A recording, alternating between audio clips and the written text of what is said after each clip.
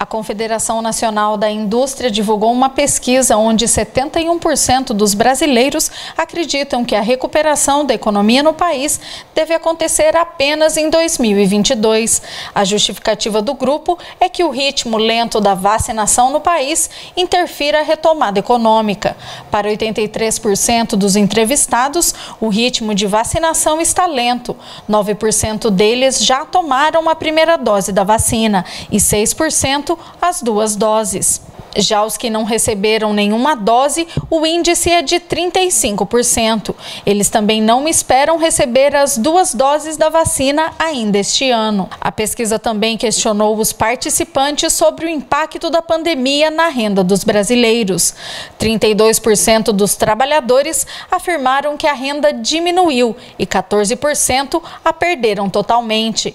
41% tiveram a renda estável e somente 10% registraram um aumento. Sobre as mudanças na renda para os próximos meses, 83% consideram que não terá mudanças, 9% veem uma redução parcial e 3% acreditam que podem perder totalmente a sua renda. Os gastos dos brasileiros também foram apontados pela pesquisa. 71% da população afirma ter reduzido seus gastos desde o início da pandemia. 38% reduziram por insegurança sobre o futuro, 27% pelo fechamento do comércio e 5% não souberam responder. O levantamento também mostrou um aumento das pessoas que se dizem favoráveis a manter os serviços abertos durante a pandemia.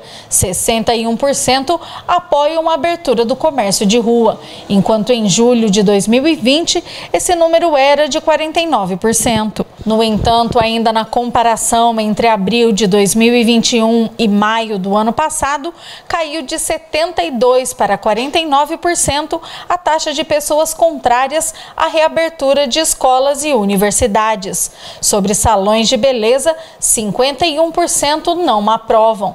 Em julho de 2020 eram 57%. No caso dos shoppings, 57% apoiam o fechamento. No ano anterior, era de 69%. Para a maioria dos especialistas, só mesmo a vacinação em massa pode refletir positivamente para uma melhoria na economia. A maioria da população vacinada colocaria o país no caminho da retomada econômica. A pesquisa da Confederação Nacional do Comércio ouviu 2.010 pessoas. Os dados foram divulgados para a pesquisa Os Brasileiros, a Pandemia e o Consumo, feita em abril deste ano.